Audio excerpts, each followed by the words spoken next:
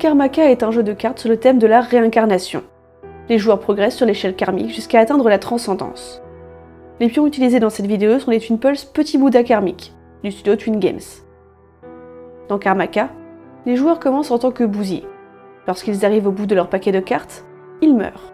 S'ils sont parvenus à gagner assez de points, ils se réincarnent sur la branche supérieure de l'échelle karmique. Sinon, ils commencent une nouvelle vie dans la peau du même animal. L'échelle karmique est composée de 4 échelons jusqu'à la transcendance. Le premier joueur à l'atteindre gagne la partie. Les cartes de Karmaka valent entre 1 et 3 points. Elles peuvent être rouges, vertes, bleues ou multicolores. Elles possèdent tout un pouvoir qui dépend de leur couleur. Au début de la partie, chaque joueur reçoit 4 cartes. Ces cartes constituent leur main de départ.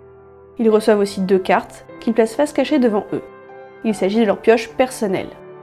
À son tour, le joueur pioche une carte, puis joue l'une des cartes de sa main. Il peut la jouer pour son pouvoir, ses points, ou pour préparer sa vie future. S'il joue la carte pour son pouvoir, il applique son effet et la donne ensuite à sa victime. S'il joue la carte pour ses points, il les place face visible devant lui. Les cartes s'empilent les unes sous les autres dans l'ordre où elles sont jouées. Ces cartes constituent ses œuvres.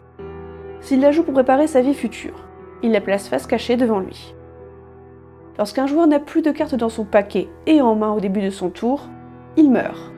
Il prend les cartes de ses œuvres et additionne les points couleur par couleur.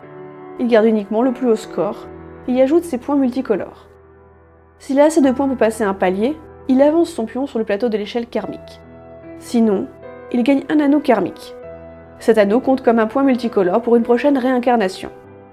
Le joueur prend toutes les cartes qu'il a préparées pour sa vie future en main. S'il en a moins de 6, il complète en piochant. Les nouvelles cartes forment sa pioche personnelle. Pour résumer, Karmaka est un petit jeu de cartes qui demande aux joueurs de faire sans cesse des choix et d'en subir les conséquences.